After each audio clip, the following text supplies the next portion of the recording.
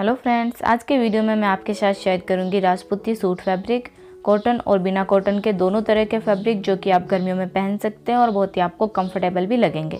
ये देखिए फ्रेंड्स, हमारा फ़र्स्ट नंबर वाला फैब्रिक और बहुत ही अच्छा फैब्रिक है। इसका वेट बहुत ही ज़्यादा कम है।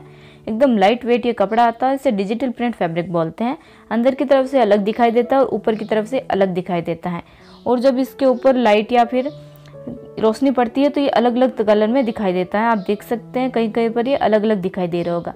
इसका कपड़ा बहुत ही ज़्यादा ऐसे लाइट है इसके ऊपर ये देखिए छाप भी बनी हुई है। बहुत ही ज़्यादा लाइट कपड़ा और ऐसा लगता है देखने में इसे हाथ लगाते हैं तो ऐसा लगता है जैसे कि ये कपड़ा कॉटन का है। और ये हमारा सेकंड नंबर वाला फैब्रिक आप देख सकते हैं। ये कपड़ा कॉटन का नहीं है लेकिन फिर भी गर्मियों में पहनने के लिए बहुत ही ज़्यादा कंफर्टेबल रहता है।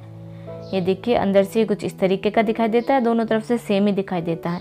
कपड़ा कूल है, एकदम हाथ लगाने पर बहुत ही ज़्यादा ठंडा ठंडा लगता है और इसमें हल्के हल्के से दाने आते हैं, बिल्कुल चिकना कपड़ा नहीं आता है, जिससे कि ये शरीर से चिपकता नहीं है और गर्मियों में बहुत ही ज़्यादा कंफर्टेबल भी रहता है। इसमें आप प्रिंट देख सकते हैं, जो बना हुआ है प्रिंट उसके जैसा ही सेम प्रिंट बना हुआ है बिना कलर के।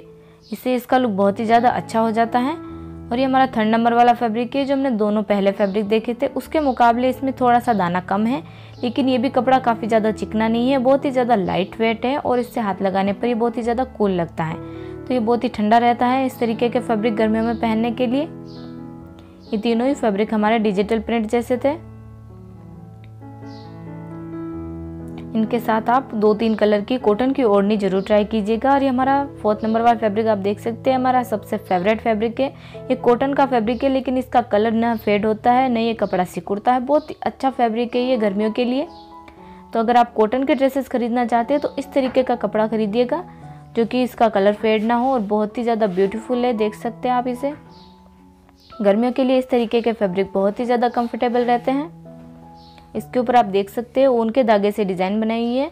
ये हमारा लास्ट का फैब्रिक, आप देख सकते हैं कितना सुंदर है। सभी जो प्रिंट दिखाए थे मैंने, उससे ये बिल्कुल अलग दिखाई देता है। बहुत ही ज़्यादा इसमें फ्लावर्स बने हैं और जगह जगह पर बने हुए हैं तो बहुत ही ज़्यादा अच्छी डिज़ाइन है इसकी। अंदर की तरफ़ से ये देखिए, बहुत ही एकदम वाइट दिखाई देता है। इसे भी डिजिटल प्रिंट फैब्रिक बोलते हैं।